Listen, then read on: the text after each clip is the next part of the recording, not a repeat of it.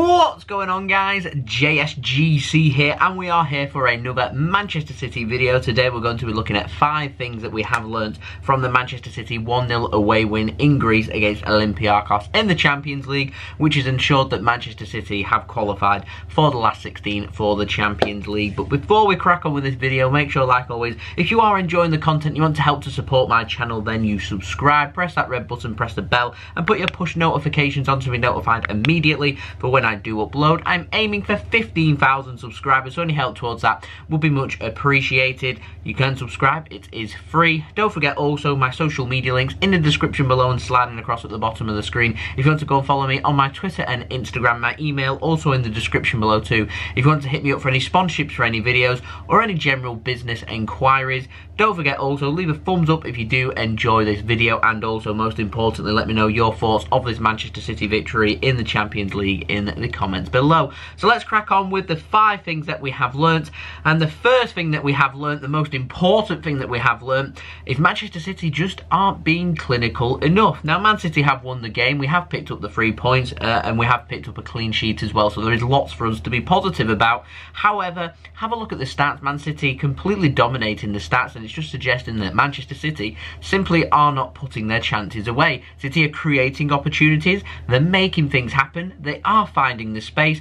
Everything is pretty much as normal uh, for this game for Manchester City and what you would expect for City from uh, Pep Guardiola. The only thing that's lacking uh, was putting the ball into the back of the net and being clinical. And there was uh, three or four very, very good opportunities for us to have done that. And I am disappointed that we haven't scored uh, three or four goals in this game, if I'm completely honest. I mean, I'm ecstatic that we've won the game. That is ultimately what does matter. And getting that one goal uh, with them not scoring any is definitely the most important stat. However, uh, I am looking for City to be more clinical. And my concern going up against a negative Burnley side on Saturday is that we're going to have to be clinical because they're going to make it difficult for us to create too many opportunities. And so when we do create them opportunities, we need to make sure that the ball is going into the back of the net. So I'm hoping that in training City will definitely be working on that. I do feel like we're missing a deadly Sergio Aguero. An informed Sergio Aguero uh, would mean that all problems have been solved for Manchester City. But as it is, it is what it is. And City definitely needing to address this striker situation, if not in January, certainly in the summer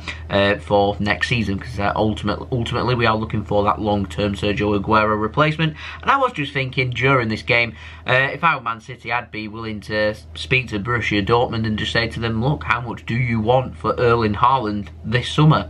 And pay it and sign him. Young, quick, quality, good in the air, good outside the box, good inside the box. This uh, being clinical and not having a quality striker there, all of a sudden, sign Haaland, all them problems disappear. And I would pay big money to have someone like Haaland at Manchester City. And I think that if City did show interest, uh, Haaland would like to join us too, considering his father played for Manchester City. And there are pictures of him being in a Manchester City shirt. Uh, so yeah, there's obviously a link there for us. So I would like that to happen. I don't think it will happen, but I would like for that to happen. So yeah, uh, having Haaland in this game, I feel like we maybe would have scored two or three goals. So that's just my thoughts though. Uh, and that, in my opinion, is what we have learned that the uh, desperation for a good quality striker to come in, it's just becoming more and more apparent. Now, moving on to the second thing that we have learned from this game is uh, just how good Phil Foden is. Now, in some games, Phil Foden has been absolute quality for Manchester City. He's getting more and more minutes, more and more starts, and more and more games with Manchester City, which is really good to see.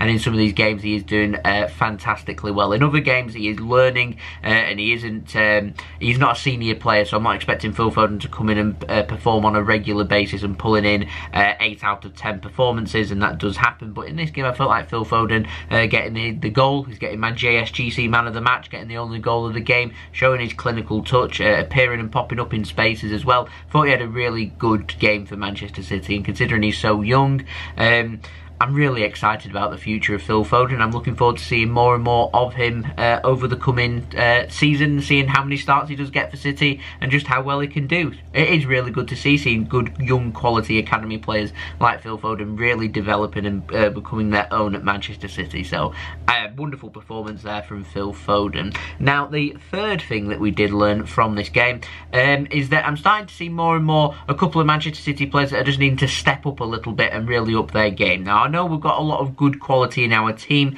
and I just feel like that word good needs to show more with some of the players. Now, now I don't want to nitpick at uh, lots of players, so I'm not going to mention any names, but there are a couple of individual players at Manchester City that I feel like uh, not so much they're not pulling their weight, but uh, they're playing not to the best of their ability, and I feel like if they were, um, we'd be doing a lot better than what we are. And so I'm just looking for each individual at Manchester City to be really showing their quality and showing why they are at Manchester City because I feel like if everyone did do that, um, and then I feel like we'd be having a, a, better season in particular in the Premier League uh, than what we are this season. Of course, it's just looking at what they've learned from this game. I saw it again, uh, so this allows me then to name a couple of individuals. So I'm looking towards the Raheem Sterlings to show their clinical finishing again, like we saw last season. I'm looking at Ilkay Gundogan as well in the middle, uh, presented a couple of good opportunities to at least put shots on target, which ended up going wide as well. I'm looking towards Gabriel Jesus to be getting them goals as well. Uh, these are players that I'm uh, really looking to try and make the difference here at Manchester City and try and, uh, you know, to uh, pull us where we need to be. Um, and so, yeah, that's what I'm seeing more and more of uh, this season. Now, uh, the fourth thing that I've learned from this game is that uh, I just don't think Olympiacos are that good. Now, I know Man City, um, in terms of how we play under Pep Guardiola, uh, we, if you do allow us to do so, we will completely dictate a game. And that is exactly what happened in this game. It's one of the most comfortable 1-0 victories that I've seen from Manchester City under Pep Guardiola. But I looked at Olympiacos and looking what problems they were going to cause us, and I didn't really see much. I wanted them to have a real good go at us to put us under pressure. I feel like that would have made this game a better game, and yes, it would have played into the hands of Man City because it allowed us even more space than what we could muster up. However, uh, I just don't feel like Olympiacos had uh, too much to offer, really.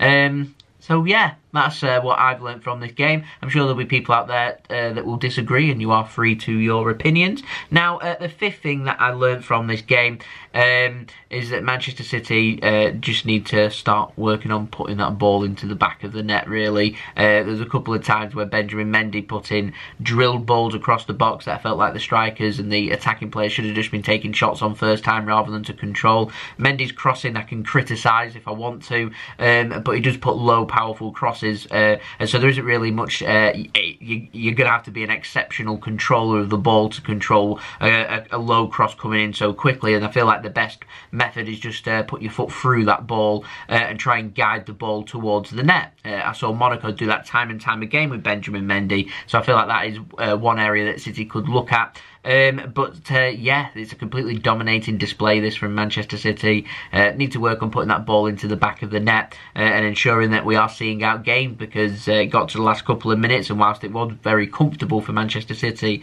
uh, all Olympiacos need to do is come forward once, one shot, one goal and, and bam, we'd have had a point and it'd have been a, an unjustified point that we'd have had when we should have had three. Um, and there will be times in the Premier League where you'll get punished for not doing that so we need to make sure that isn't happening. happening but but as it is, I'm happy with Man City's performance for this game against Olympiacos. It's nice to get back uh, to winning ways. It's nice to hit 12 points from 12 in the Champions League. It's nice to have qualified once more for the last 16 of the Champions League. Um, that's eight years in a row now for City, so definitely continued progress from there. Uh, we need to be making sure now that we are sealing first place, which we know we can do if we just avoid defeat next midweek in our game against FC Porto in Portugal, which will be a very difficult game. So I am looking forward to that game. But first, our attention will turn towards Burnley at the weekend, uh, which we will be back for and doing a live watch along. I've unfortunately not been able to do a live watch along of this Olympiacos match. Uh, that's due to me just not finishing work before the kick-off time, so I didn't want to